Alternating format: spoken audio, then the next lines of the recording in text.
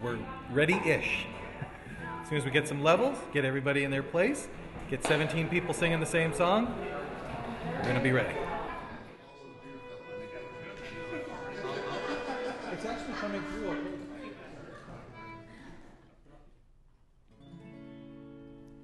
On the first day of April, I ne'er will forget. The Irishtown boys at Radigan's met. They filled up their bottles and swore solemnly That that very day they would go on a spree and sing Fall the Laddie, right Fall the Laddie, sing Fall the Laddie, right Fall the day. Right now, we're in a cemetery in Irishtown where you can see the tombstones of many of the people in this song. For example, over here, Michael O'Connor, mentioned as Mickey Connors in the song, and beyond that, Nelson Berto, the Berto gravestone.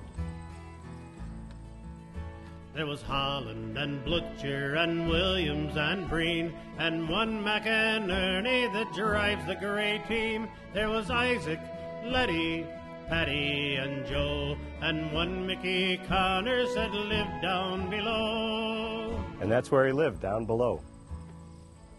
It's very rare that you know who writes a folk song, but in the case of Irishtown Crew, we know that Jim McCoy and Holland Doherty, who are from the area, wrote it together. And by including all the names of the local folks, I think it gives excitement for those around having them, their names mentioned and they'll want to sing it, but also it memorializes these folks and hopefully gives them just a touch of immortality. The Irishtown Crew was written in 1880 at a time following the potato famines when hundreds of thousands of Irish immigrants came to this country and settled. Sometimes there were tanneries, sometimes sawmills, but there was work for them. And they settled here. There used to be a pub, Radigan's, the song mentions, and to this day there stands the church and a schoolhouse.